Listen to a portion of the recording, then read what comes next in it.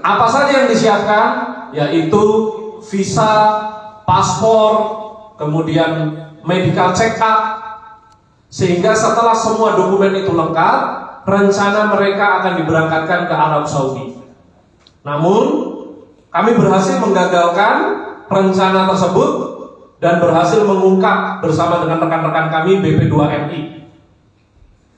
Selanjutnya, bagaimana kronologis kejadian ini bisa terjadi? Bahwa setelah kami melakukan rangkaian penyidikan, pemeriksaan terkait peristiwa ini terhadap sejumlah saksi, kami mendapatkan sejumlah fakta terkait dengan proses pemberangkatan mulai dari kampung sampai di apartemen Kalibata dan juga akan diberangkatkan ke Arab Saudi. Awal mulanya adalah delapan orang pekerja migran ini yang berdomisili di sejumlah kabupaten di daerah Jawa Barat seperti di Majalengka, di Garut, ditawari oleh istilahnya adalah sponsor-sponsor lokal atau pencari CPMI atau calon pekerja migran di tingkat lokal. Ditawari pekerjaan akan diberangkatkan ke negara-negara tujuan. Yang dalam hal ini awalnya mereka ditawari untuk bekerja di Dubai. Setelah para calon pekerja migran ini delapan orang ini berminat kemudian mereka dijemput oleh sponsor-sponsor mereka.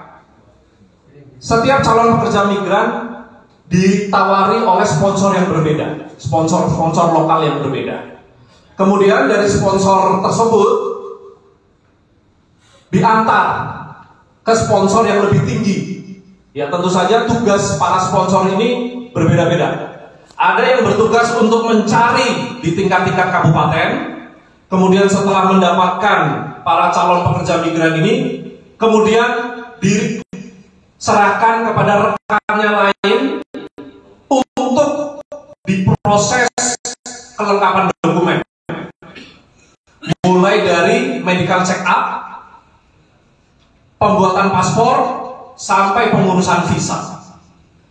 Setelah ketiga hal ini dilakukan, mereka kemudian diberikan uang bekal yang nominalnya antara lain 3 juta sampai 4 juta. Ini adalah uang bekal yang diberikan oleh para sponsor kepada para calon pekerja migran non prosedural ini sebagai dana bekal apakah mau dipakai mereka atau mau ditinggal ke keluarganya itu dipersilahkan. Kemudian mereka dibawa ke apartemen Kalibata untuk ditampung sembari menunggu visa mereka terbit. Di apartemen Kalibata ini